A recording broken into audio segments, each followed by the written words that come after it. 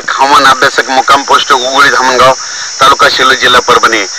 आठ जून पासून सगळ्या महाराष्ट्रामध्ये मान्सूनचं आगमन होणार आहे आणि त्याच्यानंतर आठ नऊ दहा अकरा बारा पर्यंत बऱ्याच मान्सून भाग व्यापून टाकलेला दिसत. आणि त्याच्यानंतर वीस जून पर्यंत सगळ्या महाराष्ट्रामध्ये पाऊस गेलेला दिसत म्हणून ही सगळ्यांनी लक्षात घेतात आणि माझ्या महाराष्ट्रातल्या सर्व शेतकऱ्याला सांगू इच्छितो जूनच्या शेवटच्या आठवड्यापर्यंत सगळ्या महाराष्ट्रातले शेतकरी पेरणी करायलेली दिसतील म्हणून हे अंदाज लक्षात घ्या. सर्व शेतकऱ्याला सांगू इच्छितो जसा दोन हजार बावीसला पाऊस पडला तसा तेवीसला पडणार आहे. म्हणून ही एक अंदाज आनंदाची बातमी सांगतो. परत सर्व शेतकऱ्याला सांगतो आठ जून नऊ दहा अकरा बारा हे चार दिवस महाराष्ट्रामध्ये पाऊस पडणार आहे.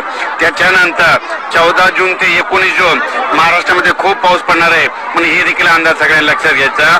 त्याच्यानंतर सव्वीस सत्तावीस अठ्ठावीस जूनला देखील महाराष्ट्रात पाऊस येणार आहे. म्हणून सगळ्यांच्या पेरणीसाठी चांगलं वातावरण आहे. म्हणून हे सर्वांच्या इथं कार्यक्रमाच्या निमित्तानं शेतकऱ्याला सांगू इच्छितो.